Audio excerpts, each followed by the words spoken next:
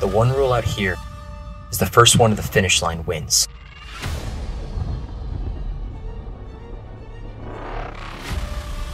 If you want me, I'd be proud to race for Belethea.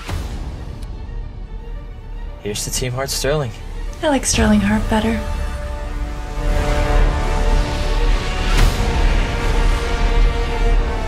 You should know, my last doubles partner was Genevieve Navarro. The girl who died in the qualifier. I might not be the best choice for you. Accidents happen. What if it wasn't an accident? We believe in Belethea. And we're racing to win. It'll be fine. We're gonna make it. Yeah.